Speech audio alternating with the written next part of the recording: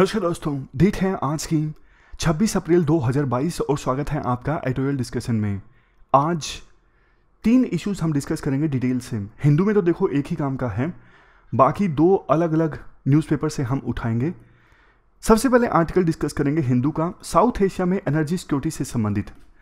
दूसरे नंबर पे हम फेडरलिज्म का मॉडल डिस्कस करेंगे। इसमें देखो, बल्कि स्टेटिक ज़्यादा होगा और करंट अफेयर कम होगा। करंट अफेयर का कंटेक्स्ट होगा। लेकिन फेडरलिज्म का पूरा जो मॉडल है ना, आज हम इस आर्टिकल में समझेंगे, इस टॉपिक में हम समझेंगे। तीसरे नंबर पे हम आर्टिकल डिस्कस करेंगे इंडियन एक्सप्रेस का सी राजा मोहन का यूरोप रशिया इंडिया ट्राइंगल से संबंधित। कोट है आज का religion is matter between man and his maker Sardar Patel ने यह बात बोली थी सेकुलरिज्म से संबंधित जब आपको लिखना हो ना या फिर कम्युनलिज्म से संबंधित कुछ लिखना हो, समाज में नफरत से संबंधित कुछ लिखना हो तो ये कोट आप इस्तेमाल कर सकते हो। मतलब क्या है? देखो, धर्म के नाम पे आज के समय में बहुत लड़ाई झगड़ा होता है। आपने देखा होगा कितनी नफरतें फैली हुई हैं। तो सरदार पटेल ने बोला था कि देखो, धर्म के नाम पे लड़ना झगड़ना व्यर्थ है कि रिलीजन एक ऐसा मामला है जो सिर्फ़ और सिर्फ़ इंसान जिसको भगवान ने बनाया है, इंसान के बीच में और बनाने वाले के बीच में है। अब चलिए डिस्कशन स्टार्ट करते हैं। First important article South Asia में एनर्जी सिक्योरिटी से संबंधित है। आप जीएस पेपर थ्री के इस टॉपिक से आर्टिकल को रिलेट कर सकते हो। देखो, शुरुआत में आर्टिकल में नाम साउथ एशिया के वेरियस कंट्रीज़ में इलेक्ट्रिसिटी सिचुएशन को आपस में कंपेयर किया गया है। जैसे इंडिया में कितनी इलेक्ट्रिसिटी प्रोड्यूस होती है, नेपाल में कितनी, भूटान में कितनी, क्या वहाँ पे सप्लाई और डिमांड के बीच में गैप है? ये सब चीज़ें आपस में कंपेयर की गई हैं। साउथ एशिया देखो, वैसे मतलब पूरे वर्ल्ड की जो टोटल पॉपुलेशन है ना, उसका 25 परसेंट तो साउथ एशिया में रहता है। लेकिन लैंड मास है सिर्फ़ पाँच परसेंट, यानी वर्ल्ड का पाँच परसेंट एरिया लेकिन पॉपुलेशन पच्चीस परसेंट। और साउथ एशिया में इलेक्ट्रिसिटी की जो जनरेशन है ना, पिछले कुछ सालों में काफ़ी ज़्यादा इंक्रीज हो गई है। जैसे 1990 में साउथ एशिया में इलेक्ट्रिसिटी प्रोड्यूस होती थी 340 टेरावाट आवर्स और 2015 में कितने? 1500 टेरावाट आवर्स तो देख लीजिए एक्सपोनेंशली इंक्रीज हुई है इलेक्ट्रिसिटी की प्रोडक्शन जहाँ बांग्लादेश में अभी फ़िलहाल 100 परसेंट इलेक्ट्रिफिकेशन है। यानी इसका मतलब यह है 100 परसेंट इलेक्ट्रिफिकेशन का मतलब है वहाँ पे कोई भी इलेक्ट्रिसिटी से अछूता नहीं है। अब देखो, किसी ने कनेक्शन लगवा नहीं रखा तो वो अलग बात है। लेकिन ऐसा नहीं है कि गवर्नमेंट वहाँ पे बिजली अभी तक पहुँचा नहीं पाई है। ऐसी कोई जगह नहीं है बांग्लादेश में तो वहाँ पे 100 परसेंट इलेक्ट्रिफिकेशन है। जहाँ एक तरफ़ देखो बांग्लादेश ने 100 परसेंट इलेक्ट्रिफिकेशन अचीव किया हाल ही में, लेकिन दूसरी तरफ़ भूटान, मालदीव, श्रीलंका, ये ऐसे देश हैं इन्होंने 100 परसेंट इलेक्ट्रिफिकेशन 2019 में ही अचीव कर लिया था। वो बात अलग है, देखो ये कम पॉपुलेशन वाले देश हैं। भूटान की पॉपुलेशन पता कितनी है? कितनी? सिर्फ़ सात लाख। और मालदीव की कितनी है? मालदीव की भी इतनी है, पाँच सात लाख। तो हमारे तो सिर्फ़ दिल्ली में ही दो तीन करोड़ लोग रहते हैं, और यहाँ की पॉपुलेशन पाँच सात लाख है। तो वहाँ पे 100 परसेंट इलेक्ट्रिफिकेशन आसान है। इंडिया में इलेक्ट्रिफिकेशन फ़िलहाल कितना है? 94.4 परसेंट यानी बाकी बचे हुए पाँच परसेंट लोग ऐसे हैं जहाँ तक अभी भी, जिनको अभी भी इलेक्ट्रिसिटी की एक्सेस नहीं है, सरकार वहाँ पर बिजली नहीं पहुँचा पाई है। और अफ़गानिस्तान में 97.7 परसेंट पाकिस्तान में इलेक्ट्रिफिकेशन कितना है? सिर्फ़ 73.9 परसेंट ये तो बात की कितने परसेंट इलेक्ट्रिफिकेशन है। रेट्स की बात करें, भूटान में देखो इलेक्ट्रिसिटी सबसे सस्ती है। यूएस डॉलर्स 0.036 पर किलोवाट आवर आंसर राइटिंग में इन पॉइंट्स का ज़्यादा इस्तेमाल होगा नहीं, सिर्फ़ ये आइडिया देने के लिए है। इंडिया में इलेक्ट्रिसिटी सबसे महँगी है। 0.08 यूएस डॉलर्स पर किलोवाट आवर इसके अलावा देखो रिन्यूएबल एनर्जी पर फोकस भी विभिन्न देशों का अलग अलग है, जैसे इंडिया काफ़ी ज़्यादा फोकस कर रहा है रिन्यूएबल एनर्जी पर। इंडिया ने तो टारगेट भी रखा है 2030 आते आते हम 40 परसेंट जो इलेक्ट्रिसिटी है, वो रिन्यूएबल सोर्सेज से जनरेट करेंगे। जहाँ दूसरी तरफ़ पाकिस्तान में तो इलेक्ट्रिसिटी प्रोडक्शन काफ़ी कम है, वहाँ पे तो इंडस्ट्रीज़ बंद हो रही हैं इलेक्ट्रिसिटी की शॉर्टेज की वजह से। रिन्यूएबल एनर्जी तो आप एक बार छोड़ ही दीजिए। पाकिस्तान के लिए रिन्यूएबल एनर्जी फ़िलहाल कोई मायने नहीं रखती। उनको तो बिजली चाहिए, कहीं से भी आए, क्योंकि उनके पास बिजली की बहुत कमी है। इसके बाद राइटर बोलते हैं, देखो साउथ एशिया में जो भी देश है ना, उनका मकसद ये है, हर एक हाउस होल्ड को, हर एक घर को इलेक्ट्रिसिटी प्रोवाइड करना। लेकिन कैसे? ऐसा नहीं कि बहुत महँगी इलेक्ट्रिसिटी प्रोवाइड करना अफोर्डेबल इलेक्ट्रिसिटी प्रोवाइड करना क्वालिटी इलेक्ट्रिसिटी प्रोवाइड करना। ऐसा नहीं कि डिम लाइट आ रही है, या फिर बहुत कम समय के लिए आ रही है। ये सब कीवर्ड्स मैटर करते हैं। तो इलेक्ट्रिसिटी पर क्वेश्चन आए ना, आप आंसर राइटिंग में इन सब कीवर्ड्स का ज़रूर इस्तेमाल कीजिएगा। Electricity generation transmission distribution rural electrification research and development environmental issues energy conservation and human resource training काफ़ी बार देखो ऐसा बोला जाता है, जो एग्जामिनर होते हैं ना, उनको ना कुछ कीवर्ड्स दिए जाते हैं। ये कीवर्ड्स आंसर में होने चाहिए। अब ये बात कितनी सच है, कितनी गलत है ये तो कहा नहीं जा सकता, लेकिन यूजली जो एक्सपीरियंस लोग हैं वो बताते हैं कि एग्जामिनर को कीवर्ड्स देती है यूपीएससी तो हमारे आंसर्स में ना कुछ कीवर्ड्स ज़रूर होने चाहिए क्वेश्चन की डिमांड को पूरा करते हुए। जैसे ही एग्जामिनर को वो कीवर्ड्स मिलते हैं ना, वो संतुष्ट हो जाता है कि हाँ बच्चा क्वेश्चन की डिमांड को पूरा करने की दिशा में आगे बढ़ रहा है। बाकी फोल्डर मटेरियल तो देखो, हमारे पास लिखने के लिए बहुत होता है। इसके बाद बात की जाती है किस टाइप की इलेक्ट्रिसिटी कौन से देश में प्रोड्यूस की जाती है? देखो, ये ज्योग्राफी पे डिपेंड करता है। जैसे इंडिया बहुत ज़्यादा रिलाय करता है कोल पर। थर्मल पावर प्लांट्स जो कोल से चलते हैं, हमारे देश में बहुत इलेक्ट्रिसिटी प्रोड्यूस करते हैं, आपको भी पता है। नेपाल में 99.9 परसेंट जो इलेक्ट्रिसिटी प्रोड्यूस होती है ना हाइड्रो पावर से, क्योंकि ज़्यादा माउंटेनियस एरियाज़ हैं नेपाल में तो हाइड्रो पावर का जो पोटेंशियल है, उसे फुल यूटिलाइज किया गया है नेपाल के द्वारा। उसके बाद नेक्स्ट है बांग्लादेश। बांग्लादेश, चूँकि देखो बंगाल की खाड़ी से लगता है, वहाँ पे गैस के रिजर्व्स हैं तो बांग्लादेश में जो पावर प्रोड्यूस होती है ना 75 परसेंट होती है नेचुरल गैस से। और श्रीलंका बहुत ज़्यादा डिपेंड करता है ऑयल पर। मतलब श्रीलंका अपनी जीडीपी का 6 परसेंट खर्च कर देता है ऑयल के इंपोर्ट पर। तो जिस जिस, साउथ एशिया में जिस देश की जैसी ज्योग्राफी उसी हिसाब से वो देश एनर्जी उसी टाइप की एनर्जी पर डिपेंड करता है। इसके बाद राइटर बोलते हैं, देखो, जैसे जैसे जिस देश में इलेक्ट्रिसिटी का कंजम्पशन इंक्रीज होता है ना, वैसे वैसे उस देश की जीडीपी भी बूस्ट होती है। जैसे एग्ज़ाम्पल के तौर पर 0.4 परसेंट अगर एनर्जी कंजम्पशन में इंक्रीज होता है तो उस देश की जीडीपी 1 परसेंट पर कैपिटा से इंक्रीज हो जाती है। ऐसा क्यों? ऐसा देखो मतलब सिंपल सा एग्ज़ाम्पल है। बिजली अगर हर जगह पे होगी तो न जाने कितनी चीज़ें आज के समय में इलेक्ट्रिसिटी से होती हैं। जैसे टेली काउंसलिंग मान लीजिए इवन एजुकेशन मान लीजिए। इलेक्ट्रिसिटी के बिना तो आज के समय में जीवन की कल्पना करना भी बहुत ज़्यादा डिफ़िकल्ट है। जितने नए नए स्टार्टअप्स आए हैं, क्या इलेक्ट्रिसिटी के बिना चल सकते हैं? बिल्कुल भी नहीं। इसके बाद एग्जाम्पल्स दिए जाते हैं। जैसे देखो, बांग्लादेश की जो जीडीपी है, उसमें 50.3 कंट्रीब्यूशन है इंडस्ट्रियल और एग्रीकल्चर सेक्टर का। ये पॉसिबल नहीं हो पाता बिना इलेक्ट्रिसिटी के। उसी प्रकार से नेपाल की जी जीडीपी ग्रोथ है 2015 के अर्थक्वेक के बाद, वो 7.3 परसेंट है। ये भी रैपिड अर्बनाइजेशन और इलेक्ट्रिसिटी की बढ़ी हुई कंजप्शन की वजह से पॉसिबल हो पाया। जबकि पाकिस्तान में शॉर्टेज है इलेक्ट्रिसिटी की, इस वजह से वहाँ पे इंडस्ट्रियलाइजेशन में कमी आई बढ़ने के बजाय। पाकिस्तान की जीडीपी 12.4 बिलियन डॉलर्स घट गई इलेक्ट्रिसिटी की शॉर्टेज की वजह से, क्योंकि इंडस्ट्रीज़ छोड़ के चली गई पाकिस्तान को, बिजली नहीं आएगी तो कौन इंडस्ट्री लगेगी वहाँ पे? इसके बाद नेक्स्ट पॉइंट में बोला जाता है, कुछ देश देखो ऐसे हैं जैसे इंडिया जिनको लीड कर रहा है। इंडिया हमने पहले भी डिस्कस किया इंडिया ने वादा किया है 2030 आते आते 40 परसेंट हम जो एनर्जी प्रोड्यूस करेंगे, वो रिन्यूएबल सोर्सेज से करेंगे। अब धीरे धीरे बांग्लादेश भी इस दिशा में आगे बढ़ रहा है। रूरल बांग्लादेश में सोलर पावर ड्रिवन इलेक्ट्रिफिकेशन काफ़ी ज़्यादा होने लगा है।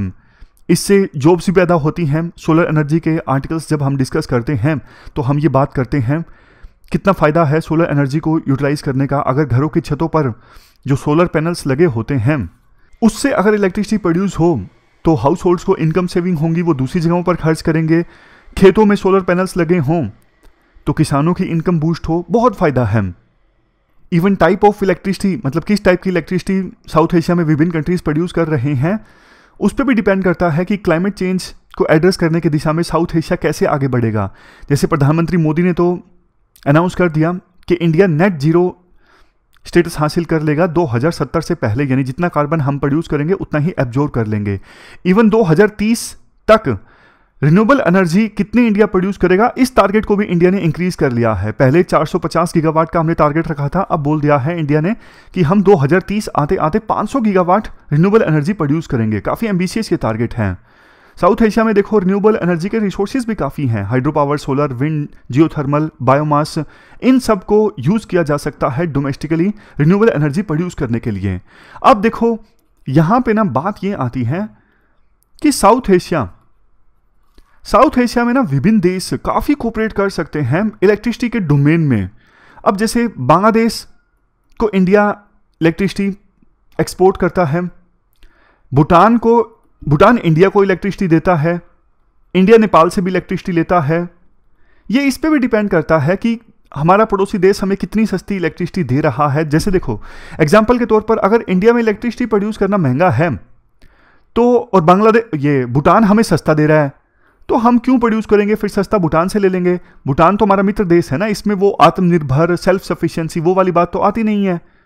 और अगर हम भूटान से इलेक्ट्रिसिटी परचेज करते हैं तो उनका भी काम चल जाता है। वैसे भी भूटान के पास पैसा कमाने के लिए रेवेन्यू जनरेट करने के लिए बहुत सारे सोर्सेज उपलब्ध नहीं है ना। पाँच सात लाख पॉपुलेशन वाला देश है भूटान।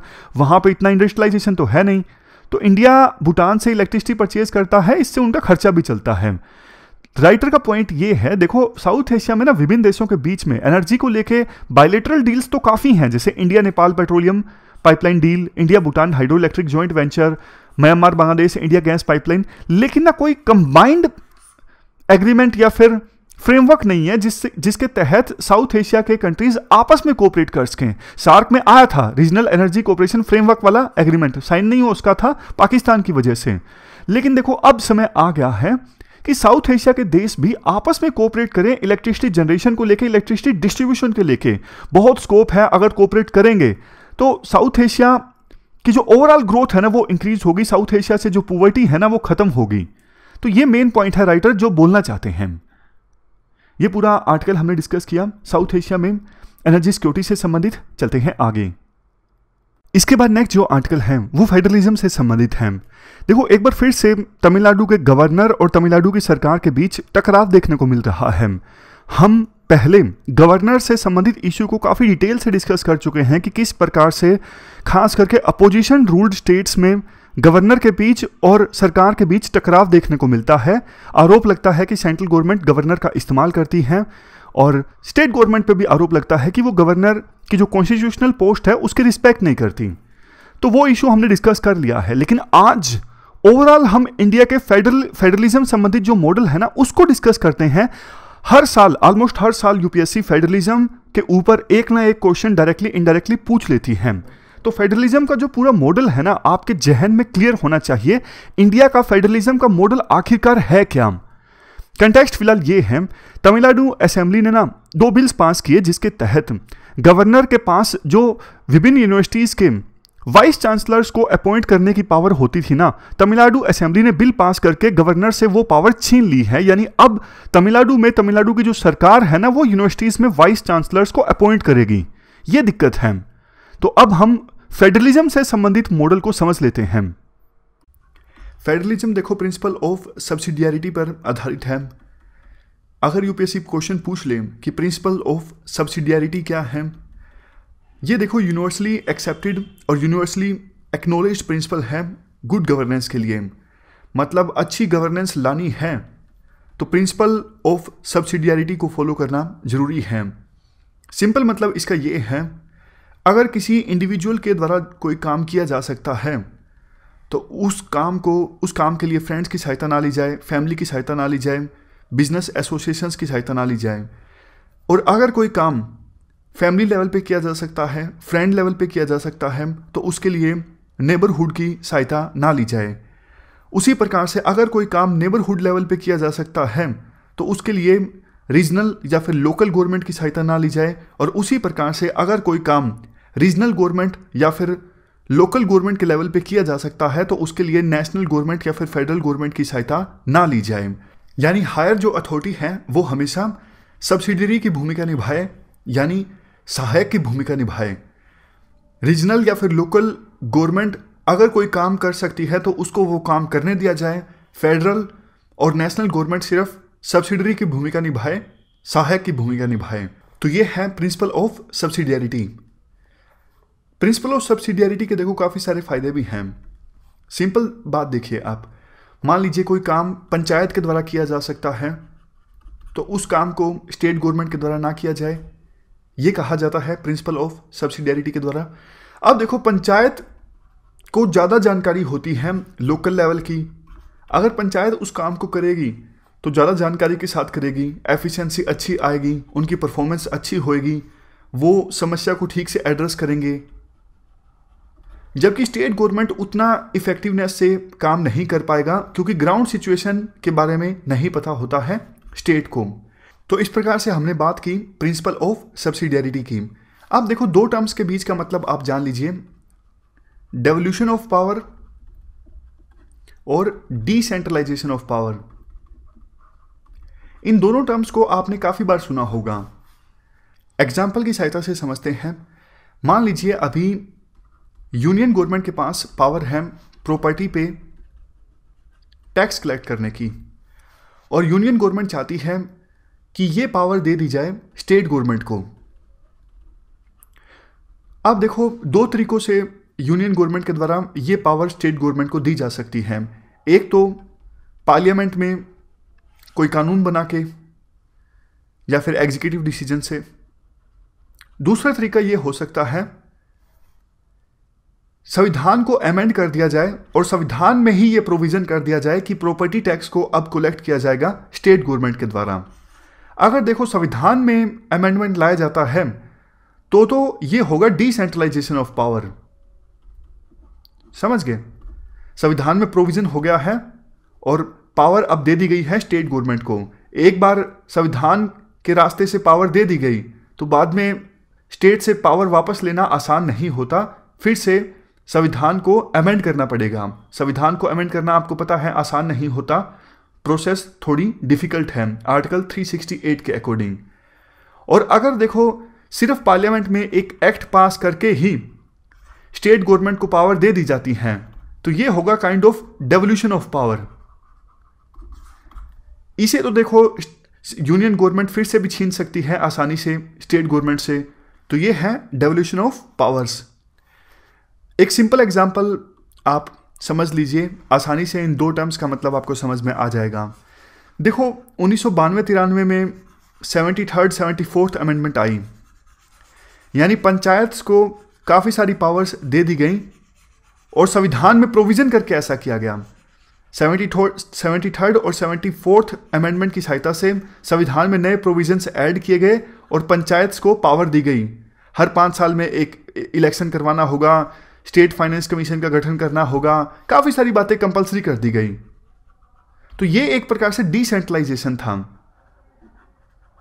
लेकिन उससे पहले क्या हुआ करता था? स्टेट गवर्नमेंट कभी इलेक्शन करवाती थी, कभी नहीं करवाती थी। थोड़ी बहुत पावर अपनी तरफ़ से डिवोल्व कर देती थी, पंचायत को वापस छीन लेती थी। तो डिसेंट्रलाइजेशन एक, आप कह सकते हो कॉन्क्रीट मेथड है।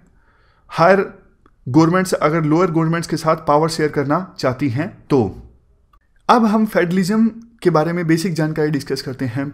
ये जो टर्म है, वो निकल के आती है लैटिन वर्ड फोर्डस से इसका मतलब है कॉन्ट्रैक्ट फेडरलिज्म एक प्रकार से आप कह सकते हो गवर्नमेंट बाय कॉन्ट्रैक्ट कॉन्ट्रैक्ट होता है गवर्नमेंट्स के बीच में। जैसे इंडिया में यूनियन गवर्नमेंट और स्टेट गवर्नमेंट्स के बीच कॉन्ट्रैक्ट है। कॉन्ट्रैक्ट है क्या? कॉन्स्टिट्यूशन कॉन्स्टिट्यूशन आपको पता है ना कि कॉन्ट्रेक्चुअल डॉक्यूमेंट है प्रियम्बल में लिखा हुआ है we the people of India having been decided तो ये एक प्रकार का कॉन्ट्रैक्ट है। कॉन्स्टिट्यूशन में साफ़ तौर पे पावर्स दी हुई हैं। कौन सी एंटिटीज़ पे यूनियन गवर्नमेंट अपना कानून बना सकती है? कौन सी एंटिटीज़ पे स्टेट गवर्नमेंट अपना कानून बना सकती है? पावर्स पूरी तरह से क्लियरली एक्सप्लिसिटली डिफाइंड है संविधान में। तो ये क्या है? ये कॉन्ट्रैक्ट है। तो फेडरलिज्म आप कह सकते हो गवर्नमेंट बाय कॉन्ट्रैक्ट विभिन्न सेकोलर्स के क्या व्यू हैं? विलियम एच राइकर और ए वी डाइसी राइकर का देखो, ये कहना है फेडरल गवर्नमेंट में क्या होता है?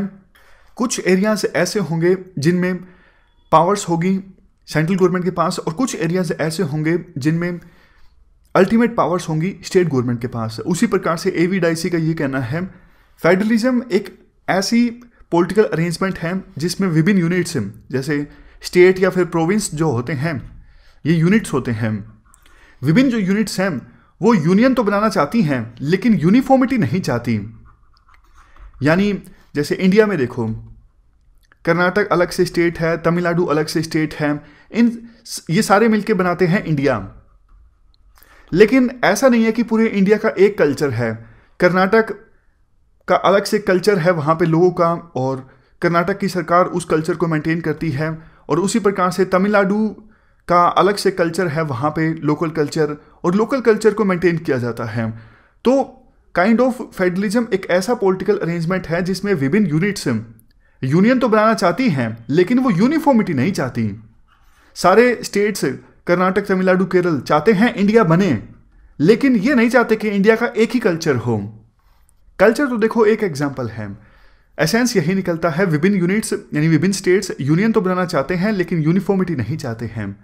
अब नेक्स्ट क्वेश्चन ये उठता है कि फेडरलिज्म का मॉडल अपनाया क्यों जाता है विभिन्न कंट्रीज़ के द्वारा?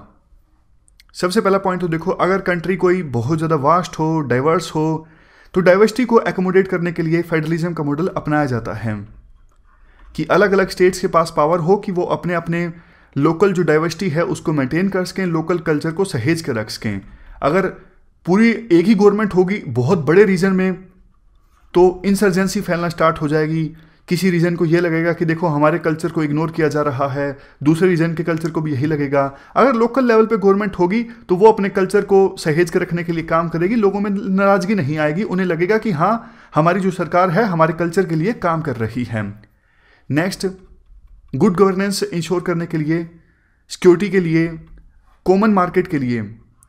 अब नेक्स्ट देखो अल्फ्रेड स्टीफन के द्वारा फेडरेशन की फॉर्मेशन के तीन मॉडल्स दिए जाते हैं। पहला मॉडल है कमिंग टुगेदर मॉडल इसमें विभिन्न स्टेट्स एक साथ आते हैं, जैसे यूएसए में 50 स्टेट्स एक साथ आए हैं, और उन्होंने यूनाइटेड स्टेट्स ऑफ़ अमेरिका का निर्माण किया है, जो कि एक फेडरेशन है।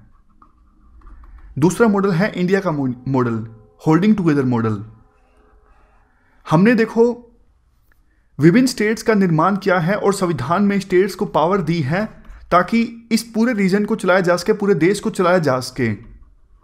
यानी यूएसए की तरह हमारे देश में ऐसा नहीं है कि अभी जैसे उनतीस स्टेट्स हैं कि उनतीस स्टेट्स एक साथ आए हों और उन्होंने डिसाइड किया हो कि हम मिलके इंडिया का निर्माण करते हैं। ऐसा कुछ नहीं हुआ। इंडिया में इंडिया पहले बना और इंडिया को चलाने के लिए स्टेट्स बाद में बने। समझ गए? तो होल्डिंग टुगेदर देश को होल्ड करने के लिए फेडरेशन का निर्माण किया जाता है। यह इंडिया का मॉडल है। तीसरे नंबर पे मॉडल है पुटिंग टुगेदर मॉडल जैसे यूएसएसआर था। यूएसएसआर में कई सारे देश शामिल थे, जिनको फोर्स की सहायता से फेडरेशन में शामिल किया हुआ था। डर दिखा के, कब्जा करके। तो वो मॉडल था पुटिंग टुगेदर मॉडल तीन मॉडल्स हैं, कहीं भी आप यूज़ कर सकते हो।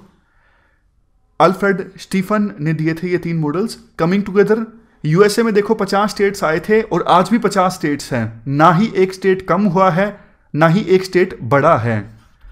क्योंकि यूएसए का निर्माण बाद में हुआ, पचास स्टेट्स पहले थे। पचास स्टेट्स ने मिलकर यूएसए का निर्माण किया। इंडिया में उल्टा है। इंडिया पहले था। इंडिया को चलाने के लिए इंडिया को होल्ड करने के लिए स्टेट्स का निर्माण बाद में किया गया। इसी वजह से स्टेट्स की संख्या हमारे देश में लगातार बढ़ रही है। और तीसरे नंबर पे पुटिंग टुगेदर मॉडल फोर्स की सहायता से कोर्जन की सहायता से फेडरेशन का निर्माण किया जाता है। अब नेक्स्ट देखो, तीन टर्म्स के बीच हम डिफरेंस जानते हैं। Unitary form of government confederation form of government और federation form of government unitary form of government का एग्ज़ाम्पल देखने को मिलता है। यूके में कन्फेडरेशन का एग्ज़ाम्पल है यूरोपियन यूनियन या फिर सार्क और फेडरेशन का एग्ज़ाम्पल है India unitary form of government में क्या होता है? फॉर एग्ज़ाम्पल इंग्लैंड में सेंट्रल गवर्नमेंट कुछ पावर्स डेलीगेट कर देती है या फिर डिवोल्व कर देती है अपने प्रोविंसेस को। फॉर एग्ज़ाम्पल यूके में देखो इंग्लैंड स्कॉटलैंड वेल्स आयरलैंड ये सब पार्ट हैं यूके के। और इनको ऑटोनमी दी हुई है यूनाइटेड किंगडम की नेशनल गवर्नमेंट ने। अब देखो, ये जो ऑटोनमी दी हुई है, संविधान की सहायता से नहीं दी हुई है। सीधा सीधा यूनियन गवर्नमेंट ने अपने एग्जीक्यूटिव डिसीज़न की सहायता से या फिर कानून बना के थोड़ी बहुत पावर्स दे दी हैं अपने कंपोनेंट्स को फॉर एग्जांपल वेल्स को इंग्लैंड को आयरलैंड को। तो ये जो टाइप ऑफ़ गवर्नमेंट है, वो यूनिटरी फॉर्म ऑफ़ गवर्नमेंट है। जिसमें सेंट्रल गवर्नमेंट के द्वारा कुछ पावर्स दे दी जाती हैं प्रोविंसेस को। संविधान की सहायता से नहीं एग्जीक्यूटिव डिसीज़न की सहायता से या फिर लेजिस्लेशन की सहायता से। अब बात करते हैं कन्फेडरेशन की। कन्फेडरेशन देखो, एकदम अपोजिट होता है यूनिटरी फॉर्म ऑफ़ गवर्नमेंट का। जैसे देखो यूरोपियन यूनियन में 28 देश हैं। 28 देश एक साथ आए और उन्होंने थोड़ी थोड़ी पावर दे दी यूरोपियन यूनियन को। उन्होंने कहा कि ये पावर अभी हमारे पास है। ये पावर आप ले लीजिए। यानी विभिन्न स्टेट्स एक साथ आ रहे हैं, एक बड़ी ऑर्गेनाइजेशन का निर्माण कर रहे हैं और उस ऑर्गेनाइजेशन को अपनी पावर्स दे रहे हैं। समझ गए?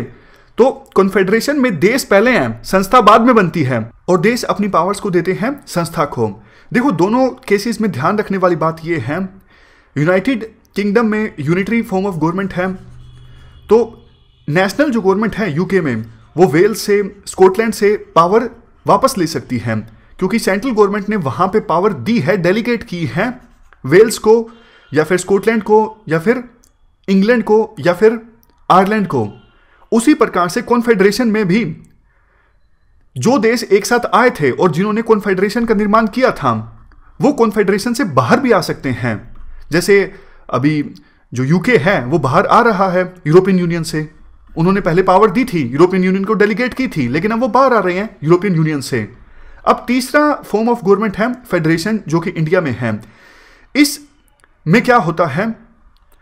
कॉन्स्टिट्यूशन में पावर डिवाइड होती है। ना तो यूनियन गवर्नमेंट पावर लेती है स्टेट गवर्नमेंट से, और ना ही स्टेट गवर्नमेंट पावर लेती है यूनियन गवर्नमेंट से। यूनियन गवर्नमेंट और स्टेट गवर्नमेंट दोनों के दोनों पावर लेते हैं संविधान से। यह सबसे इंपॉर्टेंट ध्यान रखने वाली बात है फेडरेशन में। यूनियन गवर्नमेंट और स्टेट गवर्नमेंट दोनों अपनी पावर्स को ड्रा करते हैं कॉन्स्टिट्यूशन से। ना तो यूनियन गवर्नमेंट स्टेट गवर्नमेंट को पावर देता है, ना ही स्टेट गवर्नमेंट यूनियन गवर्नमेंट को पावर देते हैं। और दो दो केसेस हमने जो पहले डिस्कस किए उसमें क्या होता है? यूनिटरी फॉर्म ऑफ़ गवर्नमेंट में यूनियन गवर्नमेंट पावर देती है स्टेट गवर्नमेंट को। और कॉन्फेडरेशन में स्टेट गवर्नमेंट पावर देती है यूनियन गवर्नमेंट को। लेकिन फेडरेशन जो कि तीसरा केस है इसमें कोई किसी को पावर नहीं देता, दोनों अपनी अपनी पावर को ड्रा करते हैं कॉन्स्टिट्यूशन से हमारे संविधान का सेवंथ शेड्यूल जिसमें साफ़ तौर पर बताया गया है यूनियन गवर्नमेंट किन मुद्दों पर कानून बना सकती है स्टेट गवर्नमेंट किन मुद्दों पर कानून बना सकती है, और यह भी बताया गया है कौन सी चीज़ें कॉन्क्रेंट लिस्ट में आती हैं, जिन पर दोनों के द्वारा कानून बनाए जा सकते हैं। तो इंडिया एक फेडरेशन फॉर्म ऑफ़ गवर्नमेंट है। फेडरेशन के देखो मेनली तीन फीचर्स होते हैं। डिवीज़न ऑफ़ पावर्स होना चाहिए, जो कि हमारे देश के संविधान में है शेड्यूल सेवन के हिसाब से। रिटर्न कॉन्स्टिट्यूशन होना चाहिए, हमारे देश में है written constitution independent judiciary judiciary होनी चाहिए, हमारे देश की जुडिशरी इंडिपेंडेंट है। आर्टिकल 131 के हिसाब से सेंटर और स्टेट के बीच में कोई भी इशू को लेकर डिस्प्यूट होता है तो स्टेट गवर्नमेंट या फिर सेंट्रल गवर्नमेंट जा सकते हैं सुप्रीम कोर्ट में। तो इसका मतलब तीनों फीचर्स इंडिया में देखने को मिलते हैं और इंडिया एक फेडरल कंट्री है। लेकिन देखो, कुछ एक्सपर्ट्स ऐसे भी हैं जो कहते हैं, इंडिया एक फेडरल कंट्री नहीं है, इंडिया एक क्वेसी फेडरल कंट्री है। For example K C Wheare के सी वेयर का कहना है, इंडिया एक क्वेसी फेडरल कंट्री है, क्योंकि इंडिया में मोर सेंट्रलाइज्ड फेडरल मॉडल है। मतलब फेडरल गवर्नमेंट की जो पावर्स हैं, वो ज़्यादा है as comparison to state government से जैसे इंडिया में ऑल इंडिया सर्विसेज़ गवर्नर का जो पद है बहुत सारी ऐसी चीज़ें हैं जिससे ये ज़ाहिर होता है कि सेंट्रलाइज्ड फेडरल गवर्नमेंट है इंडिया में, यानी पावर्स ज़्यादा है यूनियन गवर्नमेंट के पास फेडरल गवर्नमेंट के पास तो पूरी तरह से इंडिया फेडरल कंट्री नहीं है। इंडिया एक क्वैसी फेडरल कंट्री है। ये बोला गया था के सी वेयर के द्वारा। के सी वेयर ये भी कहते हैं, ना सिर्फ़ इंडिया बल्कि दूसरे जो फेडरल गवर्नमेंट्स हैं, जैसे यूएसए का वो एग्ज़ाम्पल देते हैं। यूएसए में सिविल वार हुआ, उसके बाद जैसे जैसे यूएसए का कद बढ़ा इंटरनेशनल पॉलिटिक्स में। तो यूएसए की जो फेडरल गवर्नमेंट है, वो धीरे धीरे और ज़्यादा स्ट्रोंग होती गई। तो यूएसए में भी सेंट्रलाइज्ड फेडरल गवर्नमेंट है। ऐसा बोला जाता है के सी वेयर के द्वारा। लेकिन देखो एस आर बोमई केस में 1994 में सुप्रीम कोर्ट ने साफ़ तौर पे बोला है फेडरलिज्म जो है, वो हमारे संविधान के बेसिक स्ट्रक्चर का पार्ट है। फेडरलिज्म का कोई एक मॉडल नहीं हो सकता। फेडरलिज्म के बहुत सारे मॉडल्स हो सकते हैं। और कोई ज़रूरी नहीं कि यूएसए का फेडरलिज्म का जो मॉडल है, वो बिल्कुल ठीक मॉडल है और उसे ही फेडरलिज्म का मॉडल माना जाए। अलग अलग देशों में फेडरलिज्म का अलग अलग मॉडल भी हो सकता है। यूएसए जो एग्ज़ाम्पल है, वो ड्यूल फेडरलिज्म का एग्ज़ाम्पल है। इंडिया एक एग्ज़ाम्पल है कोऑपरेटिव फेडरलिज्म का। ड्यूल फेडरलिज्म का क्या मतलब होता है? देखो यूएसए में स्टेट गवर्नमेंट और यूनियन गवर्नमेंट के बीच पावर्स का एकदम एक्सप्लिसिट डिफरेंस है। ना तो स्टेट गवर्नमेंट यूएस ना तो स्टेट गवर्नमेंट यूनियन गवर्नमेंट के काम में इंटरफेयर करेगी, कोई डिपेंडेंसी नहीं है स्टेट गवर्नमेंट अपना काम करेगी यूनियन गवर्नमेंट अपना काम करेगी, और यूनियन गवर्नमेंट स्टेट गवर्नमेंट के कामकाज में इंटरफेयर नहीं करेगी। तो वाटर टाइट कंपार्टमेंट्स आप कह सकते हो यूएसए में। इस प्रकार का मॉडल है। आपको मैं एक पिक्चर दिखाता हूँ। ये पिक्चर आप देखिए। ये ड्यूल फेडरलिज्म का एग्ज़ाम्पल है। केक है ना? केक में लेयर होती है। यूनियन गवर्नमेंट का काम है तो यूनियन गवर्नमेंट करेगी। कोई डिपेंडेंसी नहीं स्टेट गवर्नमेंट के ऊपर। ऊपर मान लीजिए लेयर है स्टेट गवर्नमेंट की। स्टेट गवर्नमेंट अपना काम करेगी। कोई डिपेंडेंसी नहीं यूनियन गवर्नमेंट के ऊपर। दोनों एक दूसरे के काम में इंटरफेयर नहीं करेंगे। कोई कोऑपरेशन का स्कोप नहीं है। तो ये है ड्यूल फेडरलिज्म का मॉडल जबकि इंडिया में है कोऑपरेटिव फेडरलिज्म का मॉडल दोनों की इंटरलॉकिंग यानी इंटरडिपेंडेंसी देखने को मिलती है इंडिया में। यूनियन गवर्नमेंट की डिपेंडेंसी है स्टेट गवर्नमेंट के ऊपर और स्टेट गवर्नमेंट की डिपेंडेंसी है यूनियन गवर्नमेंट के ऊपर। तो इस प्रकार से जो मार्बल बनता है मार्बल केक मॉडल ये हमारे देश का मॉडल है। मार्बल केक फेडरलिज्म के मॉडल को आप कोऑपरेटिव फेडरलिज्म भी कह सकते हो। इंडिया के मॉडल में यूनियन गवर्नमेंट और स्टेट गवर्नमेंट एक दूसरे की मदद करते हैं, हाथ पकड़ के आगे चलते हैं। तो इंडिया का फेडरलिज्म का जो मॉडल है, वो यूएसए के फेडरलिज्म के मॉडल से अलग है कई सारे रिस्पेक्ट में। जैसे देखो यूएसए का फेडरलिज्म का जो मॉडल है, वो लेजिस्लेटिव फेडरेशन है, जबकि इंडिया में एग्जीक्यूटिव फेडरेशन है। इसका मतलब देखो ये है इंडिया में स्टेट की इंपॉर्टेंस ज़्यादा है एग्जीक्यूटिव लेवल पे, यानी एडमिनिस्ट्रेटिव लेवल पे। यूनियन गवर्नमेंट कानून तो बना देती है, लेकिन उन कानूनों को इंप्लीमेंट करने के लिए ज़्यादातर समय यूनियन गवर्नमेंट को डिपेंड होना पड़ता है स्टेट गवर्नमेंट पे। तो स्टेट गवर्नमेंट की ज़्यादा इंपॉर्टेंस है एग्जीक्यूटिव लेवल पे इंडिया में, जबकि यूएसए में उल्टा है। यूएसए में स्टेट गवर्नमेंट्स के पास ज़्यादा पावर है लेजिस्लेटिव लेवल पे, यानी स्टेट गवर्नमेंट्स ज़्यादा इश्यूज़ पे कानून बना सकती हैं। लेजिस्लेटिव मामलों में उनके पास ज़्यादा पावर्स हैं यूएसए में। दूसरा डिफरेंस देखो इंडिया के फेडरलिज्म मॉडल और यूएसए के फेडरलिज्म मॉडल में ये है इंडिया का फेडरलिज्म मॉडल एसमेट्रिकल है। हमारे देश में, राज्यसभा में सभी स्टेट्स की रिप्रेजेंटेशन समान नहीं है। यूपी 31 राज्यसभा मेंबर्स भेजता है। कई स्टेट्स ऐसे भी हैं, वो दो मेंबर एक मेंबर भेजते हैं। हरियाणा पाँच मेंबर भेजता है। लेकिन यूएसए में ऐसा नहीं है। यूएसए में सभी स्टेट्स के द्वारा दो मेंबर्स भेजे जाते हैं। यानी सभी स्टेट्स है, पचास जो स्टेट्स हैं यूएसए में। सबकी रिप्रेजेंटेशन इक्वल है, लेकिन इंडिया में, राज्यसभा में सबकी रिप्रेजेंटेशन इक्वल नहीं है। इंडिया में एसमेट्रिकल मॉडल है और एसमेट्रिकल मॉडल देखो, ज़्यादा डेमोक्रेटिक भी होता है। ग्रैनविल ओस्टिन ये कहते हैं इंडिया का जो मॉडल है, वो कोऑपरेटिव फेडरलिज्म का मॉडल है और Granville Austin K C Wheare के पॉइंट ऑफ़ व्यू को रिजेक्ट कर देते हैं। के सी वियर ने क्या कहा था, आपको याद होगा? इंडिया जो है, वो एक क्वेसी फेडरल कंट्री है। ग्रैनविल ओस्टिन कहते हैं, नहीं इंडिया एक फेडरल कंट्री है, दो ही कंसेप्ट होते हैं, या तो फेडरल कंट्री या फिर यूनिटरी कंट्री क्वेसी फेडरल जैसा कोई कंसेप्ट नहीं होता, और इंडिया एक फेडरल कंट्री है, ऐसा बोला जाता है ग्रैनविल ओस्टिन के द्वारा। इवन देखो हमारे जो करंट प्राइम मिनिस्टर हैं, प्रधानमंत्री मोदी, उन्होंने एक नई टर्म ईजाद की कोऑपरेटिव कंपिटिटिव मॉडल इस मॉडल के हिसाब से कोऑपरेशन तो देखने को मिलेगा ही टीम इंडिया के बीच, यानी सेंट्रल गवर्नमेंट और स्टेट गवर्नमेंट के बीच और विभिन्न स्टेट गवर्नमेंट्स के बीच लेकिन इसके साथ साथ हेल्थी कंपटीशन भी देखने को मिलेगा। विभिन्न स्टेट्स के बीच नीति आयोग ने देखो कितने सारे इंडेक्स रिलीज़ किए हैं। फॉर एग्ज़ाम्पल हेल्थ से रिलेटेड इंडेक्स या फिर वाटर कंपोजिट इंडेक्स ये सारे इंडेक्स इसीलिए है ना, विभिन्न स्टेट्स के बीच एक हेल्थी कंपटीशन को नर्चर किया जा सके।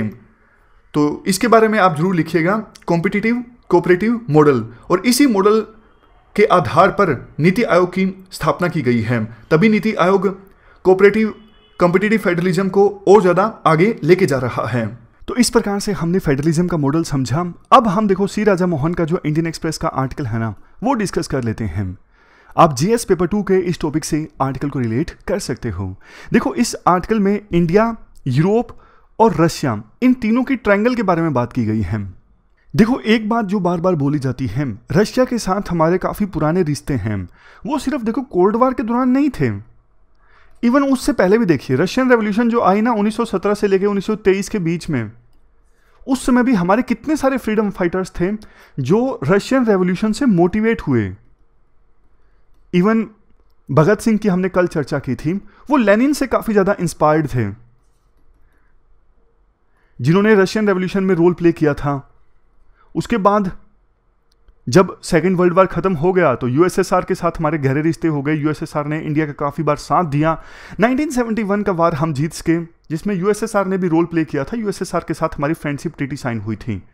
तो कुछ एक्सपर्ट्स बोलते हैं इंडिया के साथ इंडिया और रशिया के ना सेंटिमेंटल रिलेशंस भी हैं। चलो इंडिया आज के समय में रशिया के ऊपर डिपेंडेंट है डिफेंस के लिए ये बात सही है, लेकिन सेंटिमेंटल रिलेशंस भी हैं।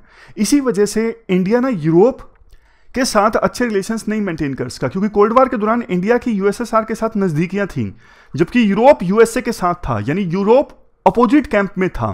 तो इस वजह से इंडिया कभी यूरोप के नज़दीक आया ही नहीं कोल्ड वार के दौरान।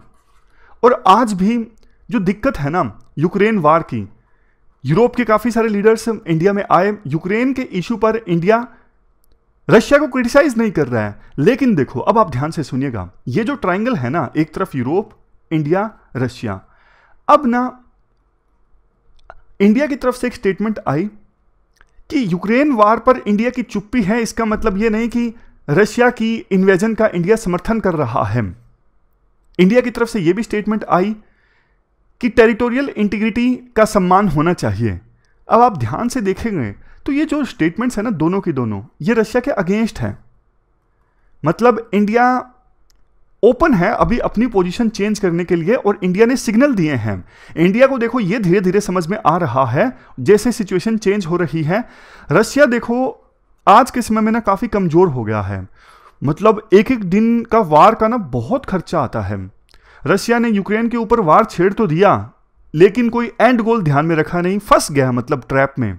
रशिया जो है, काफ़ी वीक हो गया है, इंटरनेशनल आइसोलेशन हो गया है। मतलब कायदे से देखो, पुतिन को ना किसी भी कीमत पर यह युद्ध छेड़ना नहीं चाहिए था। एक बहुत बड़ी गलती है। बहुत खर्चा हो गया, कुछ हासिल हुआ नहीं। पहले वो यूक्रेन की राजधानी पर कब्जा करना चाहते थे, छोड़ दिया। अब ईस्टर्न यूक्रेन पर कब्जा कर रहे हैं। और इंटरनेशनली देखिए कितना ज़्यादा आइसोलेशन हो गया है, रशिया की इकोनॉमी देखिए कितना कमज़ोर हो गई है। देखो, ये बात सच है। अगर यूरोप रशिया से तेल नहीं परचेज करेगा या फिर यूएसए निकल नहीं परचेज करेगा तो उनको नुकसान होगा। लेकिन जो रशिया को नुकसान हो रहा है ना, वो बहुत ज़्यादा है।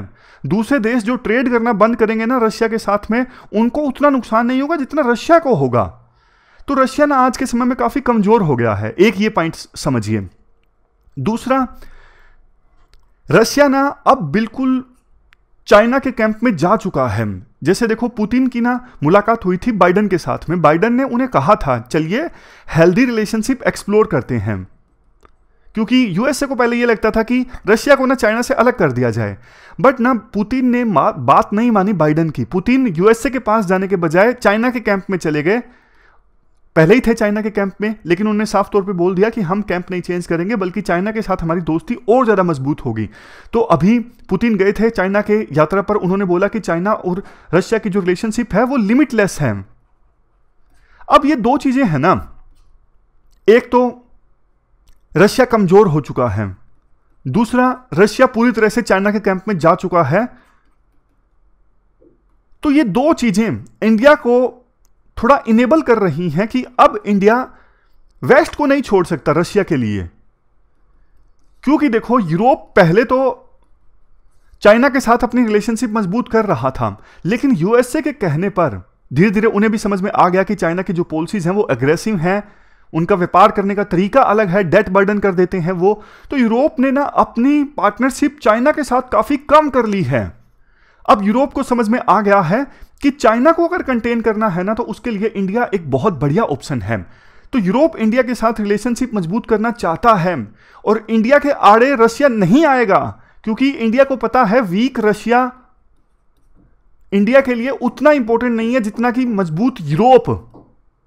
ये पॉइंट राइटर रखना चाहते हैं तो इस प्रकार से हमने जो तीनों ट्राइंगल है ना, एक तरफ़ यूरोप, इंडिया, रशिया ट्राइंगल में बीच में क्या कॉम्प्लिकेशन क्या इक्वेशन बन रही है, वो हमने डिस्कस की। तो ये पूरा आर्टिकल हमने डिस्कस किया। आईआर से संबंधित हमारी आज की इस डिस्कशन में इतना ही है। तीन इश्यूज़ आज हमने डिटेल से डिस्कस किए। Thank you thank you very much for discussion